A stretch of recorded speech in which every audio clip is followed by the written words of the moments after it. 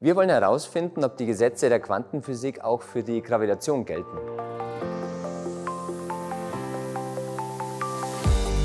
Mein Name ist Markus Aspelmeier und mein Team und ich untersuchen an der Universität Wien im Experiment, wie Quantenphysik und Gravitation zusammenhängen.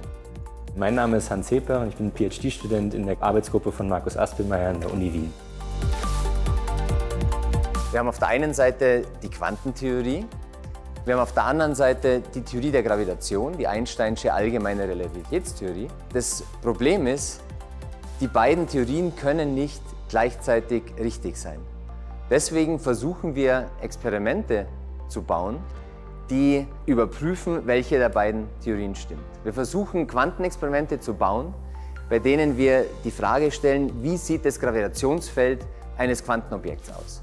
Am Schluss müssen wir beide zusammengeben und der Natur die Frage stellen, verhält sich die Gravitation nach den Gesetzen der Quantenphysik? Wir wissen es nicht, finden wir es raus. Wir messen Gravitation zwischen zwei sehr kleinen Massen und nutzen dafür ein Messprinzip, das äh, zum ersten Mal von Henry Cavendish in Ende des 18. Jahrhunderts verwendet wurde. Äh, während Cavendish noch das Gravitationsfeld von einem Berg vermessen hat, äh, ist das Gravitationsfeld, das uns interessiert, jenes von, einem, von einer 2 mm Goldkugel, die wir dann hin und her bewegen wollen. Das heißt, wir wollen sehen, dass sich ein Pendel, was sich dort in der Nähe befindet, alleine aufgrund der Gravitationswechselwirkung zwischen diesen sehr kleinen Massen tatsächlich bewegt.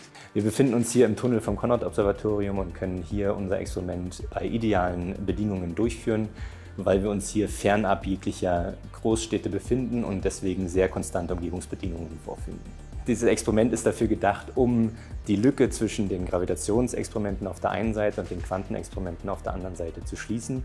Das heißt, momentan äh, trennen diese beiden äh, Felder noch Größenordnungen in der, in der Masse der involvierten Objekte und wir versuchen diese Lücke ein bisschen von oben zu schließen. Das heißt, wir versuchen die Objekte, für die man ein Gravitationsfeld nachgewiesen hat, immer kleiner zu machen und unser nächstes Ziel ist dann hier die Messung eines Gravitationsfeldes einer 20 Mikrogramm großen Masse.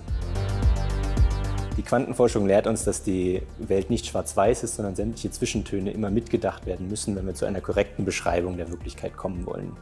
Die Ergebnisse der Quantenforschung zeigen uns, dass wir über die Wirklichkeit, über die Realität viel zu naiv noch denken. Wir können Realität nicht unabhängig vom Beobachter denken. Was wir von der Quantenphysik lernen, ist, dass sie uns nichts darüber sagt, wie die Natur ist, was real ist, sondern sie sagt uns, was wir über die Natur aussagen können.